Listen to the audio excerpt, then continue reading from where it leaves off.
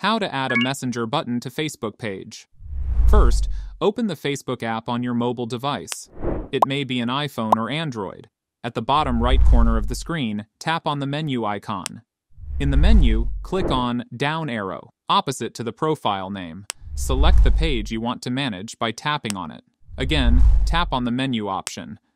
Then, select your page to view the page profile. Next, tap on the three dots next to See Dashboard.